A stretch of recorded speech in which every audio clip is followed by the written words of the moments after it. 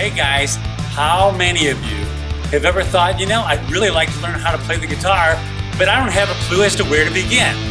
Well, if that's the case, you're in luck, because that's exactly what we're going to cover next on today's bonus session of Manly Moments.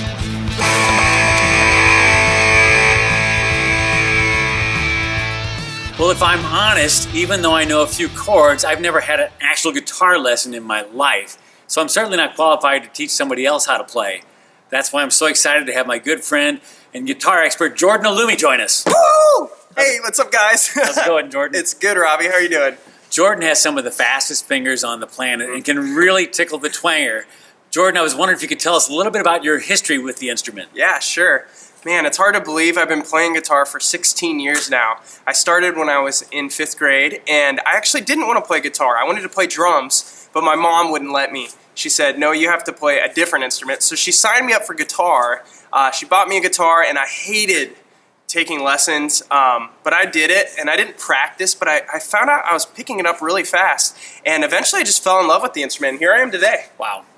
Well, there are a lot of guys that look at the guitar and it's kind of intimidating, and they don't know where to start.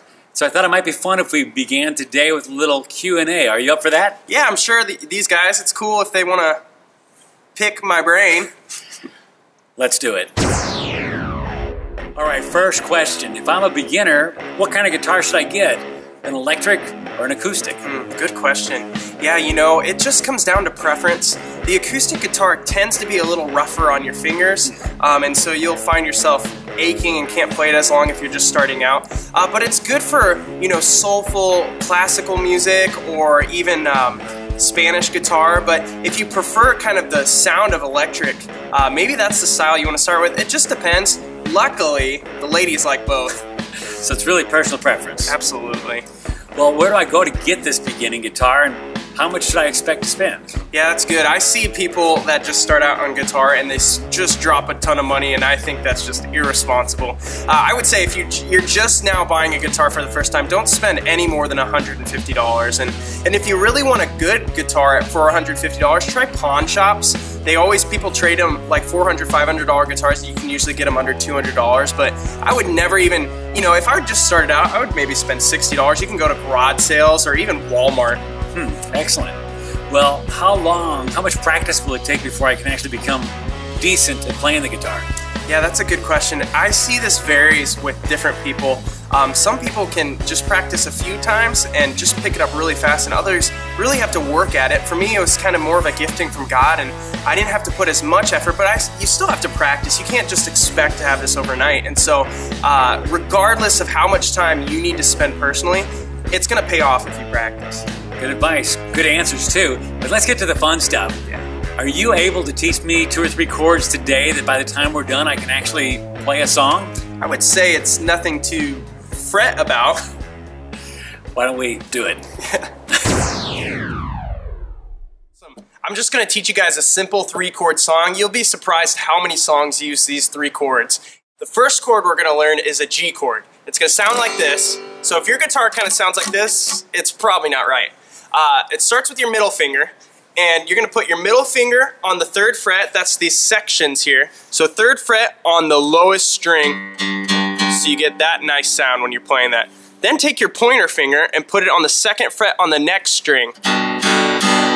Finally, your ring finger is going to go on the highest string on the third fret, just like your middle finger is. And you'll strum all the notes. If you're getting kind of this sound, you're not pressing down hard enough. Awesome, let's go to the second chord. So when you move from this G chord, changing the chords is going to be really tricky. You're going to put your middle finger almost where your pointer finger is, but then bring it down a string.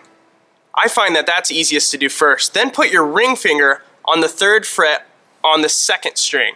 So you get that noise. Finally, your pointer finger is going to have to do its job. It's going to be on the first fret, but not on the highest string, but the string before that. Make sure you stay on your fingertips so you don't get that sound, and it's going to sound like this. Now when you strum this chord, you only want to play the bottom five notes. The lowest note does not belong in this chord. So you're just going to strum like that. The final chord we're gonna learn is called the D chord. Now this chord's a little bit different than the others. You're gonna take your middle finger and bring it all the way to the highest string and put it on the second fret. Then you're gonna put your ring finger, put it on the second to last string on the third fret. And finally your pointer finger is gonna go on the second fret on the third to last string. Now when you strum this chord, you're only gonna strum the high four notes. So when you played a G chord, you strummed all the notes. When you played the C chord, you strummed only the five. This one you're gonna strum four. And you got your D chord. Now for this particular song, we're gonna go from the G to the C to the D to the C. And it should sound something like this.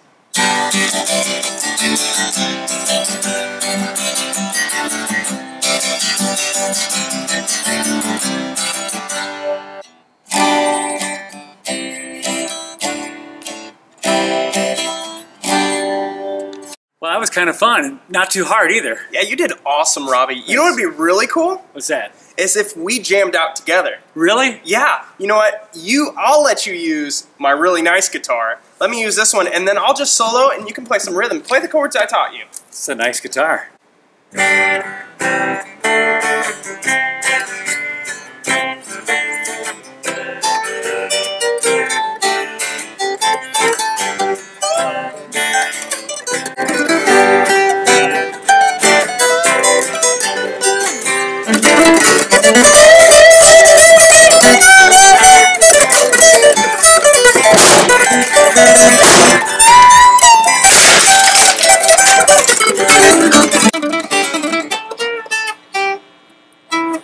What the? Um, I think I broke a string. Hey guys, if you liked this video, don't forget to give a thumbs up and leave a comment below. If you'd like a weekly dose of humor, truth, and encouragement, consider subscribing by clicking the red box below. And we'll see you next week for another installment of Manly Moments. Anybody seen my duct tape?